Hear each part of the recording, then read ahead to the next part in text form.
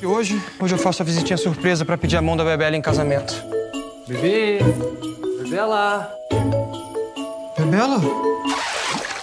Bebela? Carlinhos!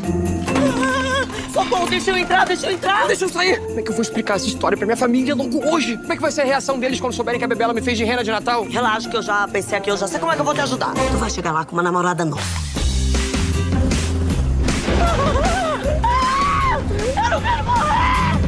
Meu Deus, eu tô na Natalândia. A chaminé do Papai Noel, o relógio do Harry Potter. Eu acho que eu posso ter me precipitado. Não, que isso, chefe. Trazer uma desconhecida aleatória no Natal da sua família tradicional ia dar errado onde? Os pombinhos se conheceram onde? Na praia. Festa. É, numa Na festa. praia. Atenção! De quem é essa risada que eu não conheço? Opa!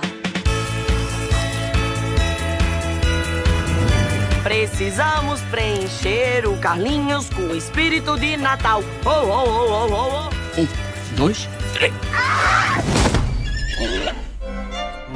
Eu nunca conheci ninguém que nem você, Graça. A pessoa mais verdadeira que eu já conheci. Maestro, DJ, Quer Natal, quer Natal, o leão vai te ensinar. Quer Natal, quer Natal, o Quem é a desconhecida, misteriosa, descontrolada que o Carlinhos trouxe pra ser de Natal? Essa mulher é uma mentirosa. O que, que você tá escondendo de mim, hein? Carlinhos, quem é essa graça?